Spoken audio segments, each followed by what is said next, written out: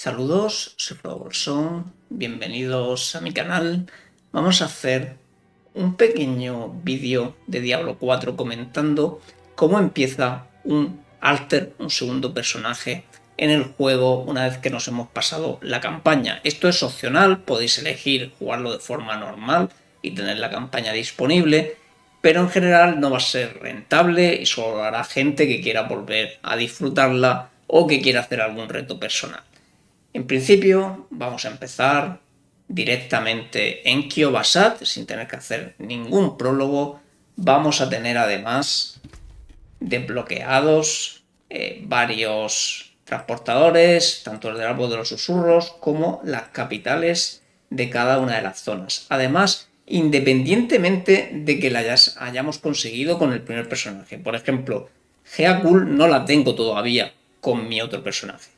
nos va a dar automáticamente todas las capitales, más el árbol de los susurros, por si queremos subir haciendo actividades del árbol de los susurros, que probablemente van a ser bastante rentables. Además, empezamos ya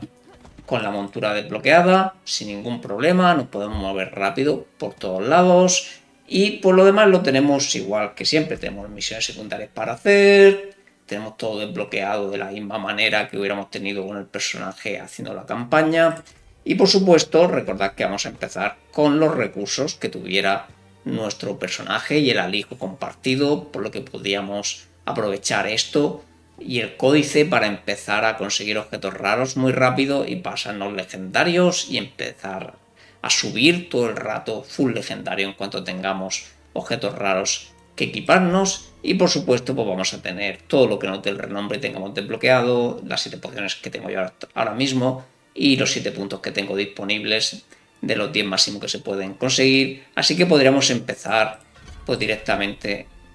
con una build mucho más acabada de lo que podría,